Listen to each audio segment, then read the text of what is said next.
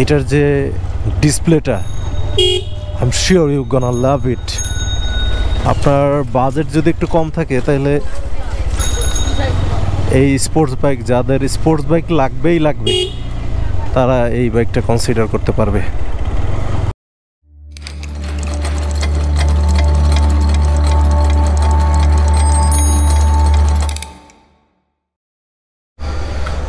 ওকে এটা GPX Demon one sixty five G আর এটা একটা টেস্ট রাইড দিয়ে দেখি কেমন।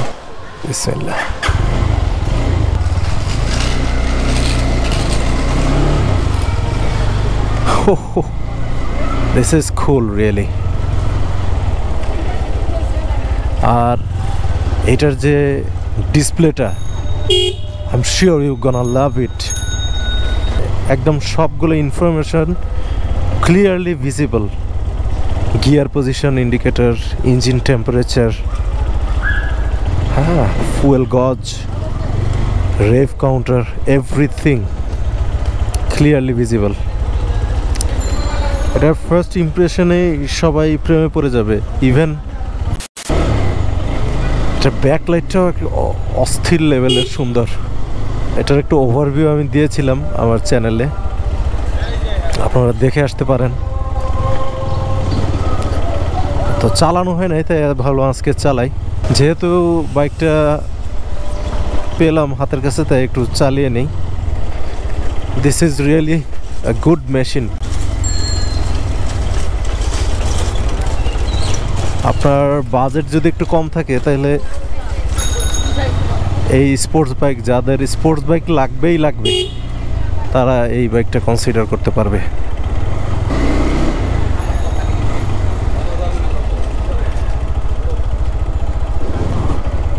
শর্টলি যদি বলতে হয়, এই বাইকটা থাইল্যান্ডের বাইক বাংলাদেশে স্পিডোজ এটা নিয়ে আসছে। আর এটার পার্টসটা সব অ্যাভেলেবেল আছে, আশা- করি স্পিডোজের কাছে।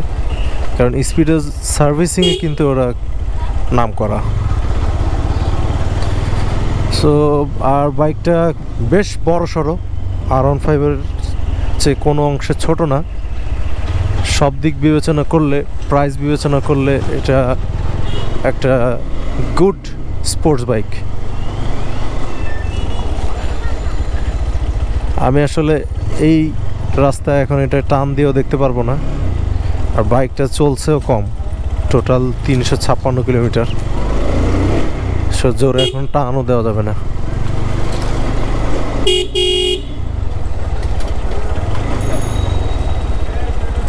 ব্রেকিং কিন্তু অসাধারণ।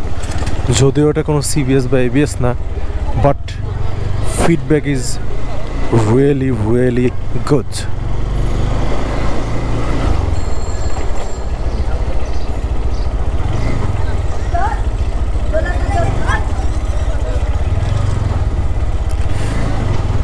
আশা করি কোনো একদিন এই বাইকটা আরও বেশি টেস্ট রাইড দিব আপনাদেরকে ইনফরমেশন দেওয়ার জন্য। আজকে এই পর্যন্তই, বিদায় নিচ্ছি জিপি এক্সটেমন থেকে।